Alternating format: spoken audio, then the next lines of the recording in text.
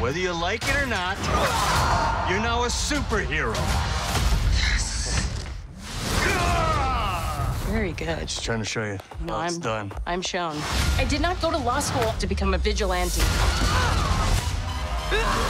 Our universe is on the edge of a precipice. All right, let's do this. Who the hell are you?